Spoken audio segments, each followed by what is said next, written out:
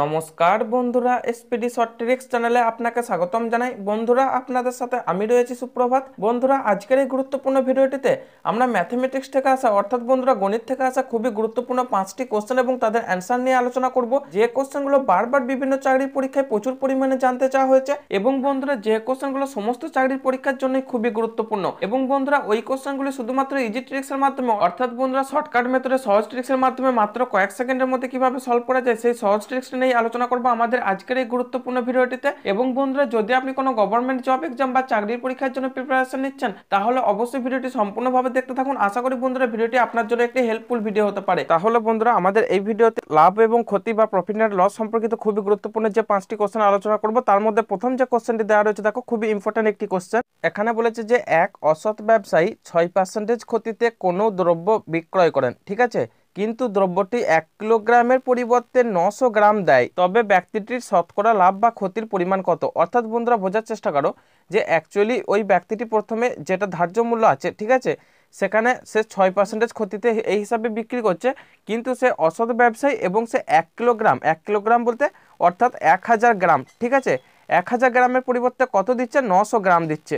ওকে তার মানে বন্ধুরা বোঝার চেষ্টা করো এখানে অলরেডি সে একশো গ্রাম লাভ করছে অর্থাৎ এক হাজার গ্রাম বা এক কিলোগ্রাম সঠিক ওজন না করে সেখানে নশো গ্রাম দিচ্ছে। তার বন্ধুরা একশো গ্রাম লাভ করছে ঠিক আছে? ওই ব্যক্তিটি শতকরা লাভ বা ক্ষতির পরিমাণ কত? অর্থাৎ দেখো এই ধরনের কোশ্চেনগুলোকে সলভ করার জন্য আমরা আগেই বলেছি যে এক্স ওয়াই মান ছাড়া এবং কোনো রকম খাতা পেন ছাড়াই শুধুমাত্র শর্টকাট মেথডে অর্থাৎ বন্ধুরা সহজ ট্রিক্সের মাধ্যমে সলভ করব। এই ধরনের কোশ্চেনগুলোকে তাহলে কীভাবে সলভ করব দেখো? যেহেতু সে ছয় পার্সেন্টেজ ক্ষতিতে দ্রব্যটি বিক্রয় করছে, তার মানে বন্ধুরা দ্রব্যটি ক্রয় মূল্য যদি একশো টাকা হয়, তাহলে ছয় পার্সেন্টেজ ক্ষতিতে তার বিক্রয় মূল্য কত হবে? অবশ্যই চুরানব্বই টাকা, অর্থাৎ একশো মাইনাস ছয় টাকা। ঠিক আছে? এরপর কি বলেছে? যে দ্রব্যটি এক কিলোগ্রামের পরিবর্তে নশো গ্রাম দেয়। তার মানে বন্ধুরা, সে বিক্রি করছে নশো গ্রাম, ঠিক আছে? তার মানে নশো গ্রাম বিক্রি করছে কতর পরিবর্তে? এক হাজার গ্রামের পরিবর্তে, ঠিক আছে? তাহলে এক গ্রাম দিচ্ছে কত পরিবর্তে? এক হাজার ডিভাইডেড বাই নশো গ্রামের পরিবর্তে, ঠিক আছে? এরপর আমাদের ফর্মুলাটা বোঝার চেষ্টা করো। অর্থাৎ বন্ধুরা, আমাদের ফর্মুলাটা এইভাবে আসবে যে যেহেতু ছয় পার্সেন্টেজ ক্ষতিতে বিক্রি করছে, তার মানে তার লাভের পর বিক্রয় মূল্য কত হবে? অবশ্যই চুরানব্বই টাকা, ওকে? অর্থাৎ একশো মাইনাস ছয় টাকা। ওকে? তারপর বলেছে যে এক কিলোগ্রামের পরিবর্তে নশো গ্রাম দেয়। তাহলে তার উপর সে লাভ কত করছে? এক হাজার ডিভাইডেড বাই নশো, অর্থাৎ সে নশো গ্রাম বিক্রয় করছে কতর উপর? এক হাজার গ্রামের উপর, ঠিক আছে? তাহলে এক গ্রাম বিক্রয় করছে কতর উপর? এক হাজার ডিভাইডেড বাই নশোর উপর, ঠিক আছে? এরপর দেখো, এটা আমাদের হচ্ছে বিক্রয় মূল্য। এখন যদি ক্রয় মূল্য একশো টাকা হয়, একশো টাকাটাকে বিয়োগ করব, ঠিক আছে? এরপর আমাদের যে রেজাল্টটা আসবে, সেটা যদি পজিটিভ হয়, তাহলে বুঝে নেবে সেটা লাভ হচ্ছে। যদি এখানে নেগেটিভ আসে, তাহলে বুঝে নেবে সেটা ক্ষতি হচ্ছে, ঠিক আছে? দেখো, এক্ষেত্রে আমরা ক্যালকুলেশন করলে জাস্ট এখানে ক্যালকুলেশন করো, অর্থাৎ দশ ইন্টু চুরানব্বই মানে হচ্ছে নশো চল্লিশ, ঠিক আছে? নশো চল্লিশ বাই নাইন মাইনাস একশো ওকে তার মানে বন্ধুরা, এই বিয়োগটা আমাদের কত আসছে? দেখো, নশো চল্লিশ বাই নাইন অর্থাৎ নশো চল্লিশ বাই নাইন মাইনাস একশো এখানে একশোর সাথে নয় গুণ করলে আমরা কত পাচ্ছি? নশো চল্লিশ মাইনাস নশো ঠিক আছে? ডিভাইডেড বাই নাইন এটা দেখো আমাদের রেজাল্ট আসছে চল্লিশ বাই নয় ওকে এবং মানটা দেখো পজিটিভ আসছে ঠিক আছে? যদি মাইনাস চল্লিশ বাই নাইন আসতো তাহলে বুঝে নিতাম যে এটা ক্ষতি হচ্ছে ওকে এক্ষেত্রে অবশ্যই তাহলে কি হচ্ছে? লাভ হচ্ছে। চল্লিশ বাই নাইন এর মানে হচ্ছে চার পূর্ণ চারের নয়। অর্থাৎ বন্ধুরা চার পূর্ণ চারের নয় পার্সেন্টেজ এখানে লাভ হচ্ছে ঠিক আছে? তাহলে আমাদের অপশন ফলো করো। অবশ্যই অপশন ডি আমাদের কারেক্ট অ্যান্সার হবে। কীভাবে শর্টকাট উপায় বার করলাম? অবশ্যই বন্ধুরা, তোমরা এই ধরনের কোশ্চেনগুলোর জন্য শর্টকাট উপায় ফলো করবে। দেখো, যেহেতু ছয় পার্সেন্টেজ ক্ষতিতে বিক্রি করছে, তার মানে বিক্রয় মূল্য কত? চুরানব্বই টাকা, অর্থাৎ একশো টাকা যদি ক্রয় মূল্য হয়, ছয় পার্সেন্টেজ ক্ষতিতে বিক্রয় করার পর তার বিক্রয় মূল্য কত হবে? অবশ্যই চুরানব্বই টাকা। এবং সে নশো গ্রাম দিচ্ছে কতর পরিবর্তে? এক কিলোগ্রামের পরিবর্তে, ঠিক আছে? তার মানে ইন্টু এক কিলোগ্রাম মানে হচ্ছে এক হাজার গ্রাম ওকে এটা হচ্ছে তার বিক্রয় মূল্য, ঠিক আছে? মাইনাস এখানে যদি একশো টাকা যেহেতু ক্রয় মূল্য ধরে নিয়েছি, অর্থাৎ একশো টাকা এখানে বিয়োগ করলে অবশ্যই সেটা হবে আমাদের লাভ বা ক্ষতি। এরপর রেজাল্টটা পজিটিভ এলে অবশ্যই সেটা আমাদের লাভ হবে। যদি নেগেটিভ আসে তাহলে সেটা আমাদের ক্ষতি হবে, ঠিক আছে?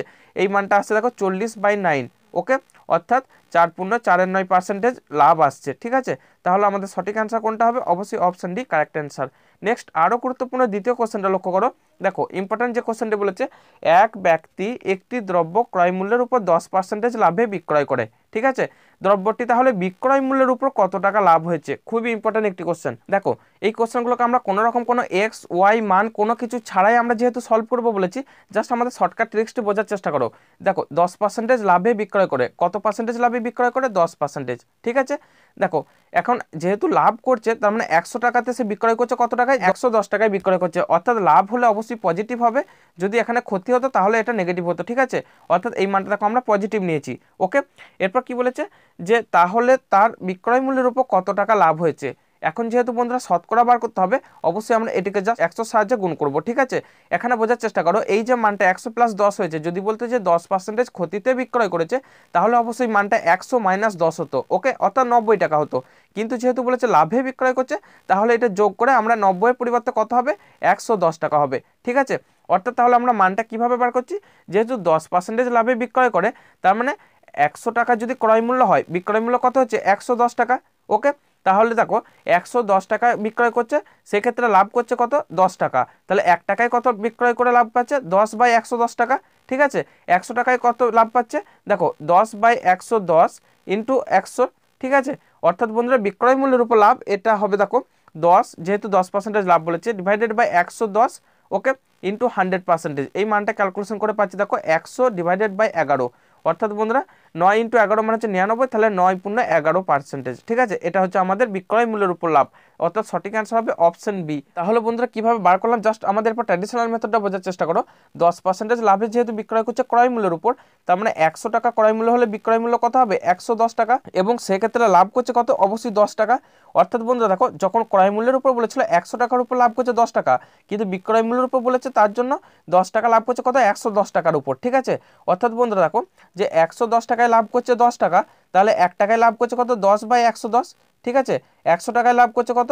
ইন্টু একশো, অর্থাৎ শতকরা বার করতে বলেছে। এই মানটা আছে দেখো, একশো বাই এগারো মানে হচ্ছে নয় পূর্ণ একের এগারো পার্সেন্টেজ ওকে বন্ধুরা নেক্সট আরও গুরুত্বপূর্ণ আমাদের তৃতীয় কোশ্চেনটি দেখো, খুবই ইম্পর্টেন্ট একটি কোশ্চেন এখানে বলেছে যে, ষোলোটি পেনের ক্রয় মূল্য কুড়িটি পেনের বিক্রয় মূল্যে সমান হলে শতকরা লাভ বা ক্ষতির হার কত?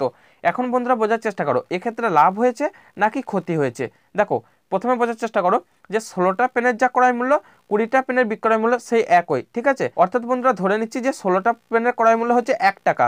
তাহলে একটা পেনের ক্রয় মূল্য কত? এক বাই ষোলো টাকা। ওকে? আবার দেখো, বিক্রয় করার পর কুড়িটি পেনের বিক্রয় মূল্য হচ্ছে যদি এক টাকা হয়, তাহলে একটা পেনের বিক্রয় মূল্য কত? এক বাই কুড়ি টাকা। এরপর বোঝার চেষ্টা করো, কোনটা বড়? এক বাই ষোলো বড় নাকি এক বাই কুড়ি বড়? এটা হচ্ছে বিক্রয় মূল্য, ঠিক আছে? এবং এটা হচ্ছে ক্রয় মূল্য, ওকে? তাহলে দেখো, অবশ্যই এক বাই ষোলো বড়। কেন বলো তো যেহেতু যদি দুই এবং পাঁচের মধ্যে দেখো পাঁচ বড়, সেই জন্য একের দুই এবং একের পাঁচ, অর্থাৎ অনন্যক করে দিলে অবশ্যই একের দুই বড় হবে। যেটা ছোট হবে, তার অনন্যক বড় হবে, ঠিক আছে? তার মানে বন্ধুরা, একের ষোলো এবং একের কুড়ি এদের মধ্যে কম্পেয়ার করলে অবশ্যই একের ষোলো বড় হবে, অর্থাৎ ক্রয় মূল্য বেশি। ক্রয় মূল্য যখন বিক্রয় মূল্য থেকে বেশি হবে, তখন লাভ হবে না ক্ষতি হবে? অর্থাৎ বন্ধুরা, ক্রয় মূল্য যখন বিক্রয় মূল্য থেকে বেশি হবে, তখন অবশ্যই ক্ষতি হবে, ঠিক আছে? তাহলে আমরা অবশ্যই ক্ষতি পাবো, ওকে? তাহলে বন্ধুরা দেখো, এক্ষেত্রে আমাদের কি হবে? অবশ্যই ক্ষতি হবে। ঠিক আছে? এরপর আমাদের বার করতে হবে যে কত টাকা ক্ষতি হচ্ছে। এখন বন্ধুরা দেখো যে লাভ বা ক্ষতির পরিমাণ সবসময় ক্রয় মূল্যের উপর হিসাব করা হয়। তাহলে দেখো, ষোলোটা পেনের ক্রয় মূল্য যদি এক টাকা হয়, তাহলে একটা পেনের ক্রয় মূল্য কত? এক বাই ষোলো টাকা। বিক্রয় মূল্য কত? এক বাই কুড়ি টাকা। ওকে? তাহলে দেখো, ক্রয় মূল্য মাইনাস বিক্রয় মূল্য, যেহেতু বিক্রয় মূল্য কম হচ্ছে, তাহলে অবশ্যই ক্ষতি হচ্ছে এবং সেই মানটা দেখো, এটা হচ্ছে আমাদের ক্ষতির পরিমাণ, অর্থাৎ একের ষোলো মাইনাস একের কুড়ি, এটা হচ্ছে ক্ষতির পরিমাণ ডিভাইডেড বাই ক্রয় মূল্য, ঠিক আছে? ক্রয় মূল্য কত? এক বাই ষোলো টাকা ওকে ইন্টু হান্ড্রেড পার্সেন্টেজ অর্থাৎ আমাদের শতকরা বার করার জন্য অবশ্যই হান্ড্রেড পার্সেন্টেজ গুণ করব, ঠিক আছে? তার মানে দেখো, এই মানটা আমরা কত পাচ্ছি? জাস্ট আমরা যদি ক্যালকুলেশন করি, কুড়ি মাইনাস ষোলো ডিভাইডেড বাই দেখো কুড়ি ইন্টু ষোলো, এখানে ষোলো এবং ষোলো এই মানটা কেটে যাবে, অর্থাৎ কুড়ি ইন্টু ষোলো যখন হবে, ঠিক আছে? তার মানে পড়ে থাকবে কুড়ি ইন্টু হান্ড্রেড পার্সেন্টেজ, ঠিক আছে? তার মানে আমাদের মানটা আসছে কুড়ি পার্সেন্টেজ ক্ষতি হচ্ছে, ওকে? তাহলে দেখো, এক্ষেত্রে আমাদের সঠিক অ্যান্সার অবশ্যই অপশন সি হবে, ওকে? অর্থাৎ আমরা কীভাবে শর্টকাট মেথডে তাহলে বার করব? দেখো শর্টকাট মেথডে বার করার জন্য কুড়িটি পেনের বিক্রয় মূল্য ষোলোটা পেনের ক্রয় মূল্য সমান। তার মানে দেখো ডিভাইডেড বাই বিক্রয় মূল্য, এটা আমাদের সঠিক অ্যান্সার হবে, ইন্টু হান্ড্রেড পার্সেন্টেজ, ওকে? এই মানটা দেখো আমরা পাচ্ছি চার বাই কুড়ি ইন্টু হান্ড্রেড পার্সেন্টেজ অর্থাৎ চারশো বাই কুড়ি মানে হচ্ছে কুড়ি পার্সেন্টেজ ঠিক আছে? তাহলে আমাদের সঠিক অ্যান্সার কত হবে? ক্ষতির পরিমাণ অবশ্যই অপশন সি হবে, ঠিক আছে বন্ধুরা? নেক্সট আরও গুরুত্বপূর্ণ চার নম্বর কোশ্চেনটি লক্ষ্য করো।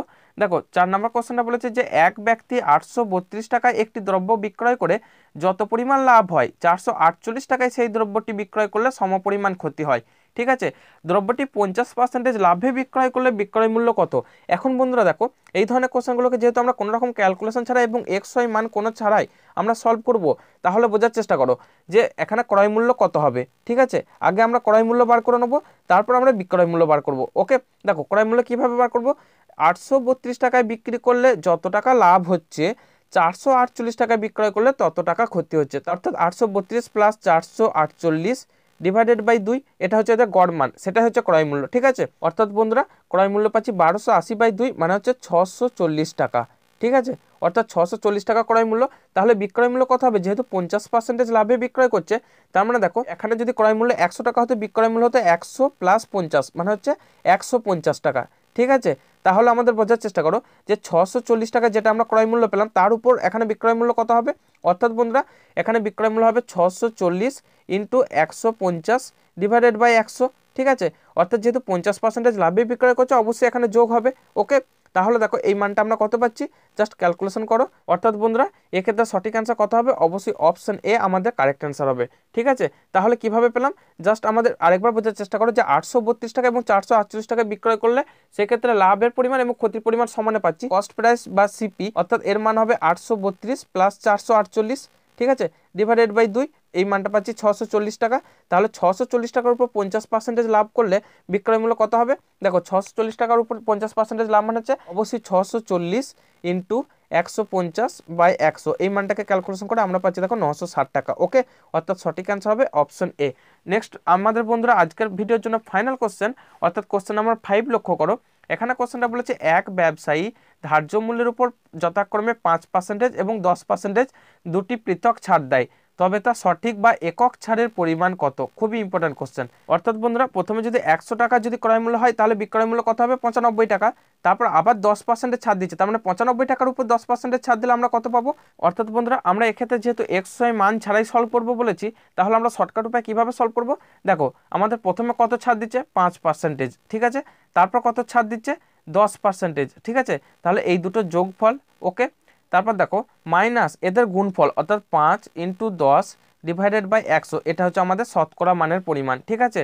অর্থাৎ দেখো, পাঁচ আর দশে পনেরো মাইনাস এই মানটাকে যদি আমরা ক্যালকুলেশন করি, তার মানে হচ্ছে পাঁচ এবং দুই কাটাকাটি করলে দশ, অর্থাৎ মাইনাস হাফ ওকে তার মানে হাফ মানে কত? হাফ মানে হচ্ছে জিরো পয়েন্ট ফাইভ তার মানে পনেরো থেকে জিরো পয়েন্ট ফাইভ বিয়োগ করলে কত পাবো? চোদ্দ পয়েন্ট ফাইভ ঠিক আছে? তাহলে আমাদের সঠিক অ্যান্সার হবে অপশন সি অর্থাৎ তুল্য ছাড়ের পরিমাণ, এটা হচ্ছে, ঠিক আছে? অর্থাৎ প্রথমে আমরা পাঁচ পার্সেন্টের ছাড় দিচ্ছি, তারপর টেন পার্সেন্টের ছাড় দিচ্ছি। কিন্তু বন্ধুরা দেখো, এই মানটাকে যদি আমরা এক্স ওয়াই মান ধরে ক্যালকুলেশন করি, একটু বড় হবে, সেক্ষেত্রে আমরা এক্স ওয়াই মান ফলো করব না। আমরা জাস্ট শর্টকাট মেথড ফলো করলাম, যেহেতু একবার পাঁচ পার্সেন্টেজ একবার দশ পার্সেন্টেজ অর্থাৎ টোটাল পনেরো পার্সেন্টেজ ছাড় দিচ্ছে, ঠিক আছে? মাইনাস এদের গুণফল মানে হচ্ছে দশ ইন্টু পাঁচ, ঠিক আছে? ডিভাইডেড বাই একশো, এই মানটাকে যদি আমরা ক্যালকুলেশন করি, আমরা মানটা পাচ্ছি দেখো, পাঁচ ইন্টু কুড়ি করলে একশো, দশ ইন্টু দুই মানে হচ্ছে কুড়ি, তার মানে পনেরো থেকে আমরা যদি হাফ পার্সেন্টেজ বাদ দিই তাহলে আমাদের সঠিক অ্যান্সারটা হবে চোদ্দ পয়েন্ট ফাইভ পার্সেন্টেজ ওকে বন্ধুরা, অর্থাৎ আমাদের ফর্মুলাটা মনে রাখবে যে দুটো যোগফল মাইনাস দুটোর গুণফল ডিভাইডেড বাই একশো, এই মানটা মনে রাখবে। অর্থাৎ আমাদের সঠিক অ্যান্সার কোনটা হবে? অবশ্যই option C correct answer finally বন্ধুরা, তোমাদের আগের ভিডিওগুলোর মতো এই ভিডিওতে একটি টাস্ক রইল, যে টাস্কটি তোমাদের সঠিক অ্যান্সার অবশ্যই পার্ট টেনে পেয়ে যাবে এবং এর অ্যান্সারটি যদি তোমরা না বার করতে পারো, তাহলে অবশ্যই পার্ট টেন ফলো করো এবং আমাদের কমেন্টের মাধ্যমে অ্যান্সারটি জানাতে ভুলবে না। সবশেষে আপনার কাছে ছোট্ট একটি অনুরোধ, যদি ভিডিওটি আপনার হেল্পফুল মনে হয়ে থাকে, তাহলে বন্ধুরা অবশ্যই জরুরি একটি লাইক দেবেন, কারণ আপনার একটি লাইক আমাদের পরবর্তী ভিডিও বানানোর জন্য প্রচুর পরিমাণে উৎসাহ, উদ্দীপনা এবং মোটিভেশন হিসাবে কাজ করে। এবং বন্ধুরা, ভিডিওটি আপনার বন্ধু বান্ধবদেরও প্রিয়জনদের হোয়াটসঅ্যাপ ফেসবুক ইনস্টাগ্রাম টেলিগ্রাম সব কিছুতে শেয়ার করে দিতেও ভুলবে না। যাতে করে বন্ধুরা, আপনার মতো আপনার বন্ধুরা একটু হলেও সাহায্য পায়, তাদের এই কঠিন স্ট্রাগল পড়বে। অর্থাৎ বন্ধুরা এক্সামের প্রস্তুতি পড়বে, একটু হলেও সাহায্য পায়। এবং বন্ধুরা, যদি আপনি আমাদের চ্যানেলে নতুন সদস্য হয়ে থাকেন, তাহলে অবশ্যই পাশে আসা লাল রঙের সাবস্ক্রাইব বাটনটিকে প্রেস করে কালো করে রাখতে ভুলবে না। যাতে করে বন্ধুরা, আমাদের পরবর্তী ভিডিওগুলি আপলোড দেওয়ার সাথে সাথে তৎক্ষণাৎ আপনারা পেতে পারেন এবং তার জন্য বন্ধুরা, অবশ্যই পাশে আসা নোটিফিকেশনের জন্য বেল আইকনটিতে ক্লিক করে নোটিফিকেশন বেল বাটন দিয়ে অন করে রাখতেও ভুলবে না। এবং বন্ধুরা, দেখা হবে আমাদের পরের ভিডিওতে ঠিক রাত সাতটা বেজে তিরিশ মিনিটে। অর্থাৎ বন্ধুরা, আমাদের এসপিডি শর্ট ট্রিক্স চ্যানেলে ঠিক রাত সাতটা বেজে তিরিশ মিনিটে খুবই গুরুত্বপূর্ণ রিজনিং ম্যাথামেটিক্স এবং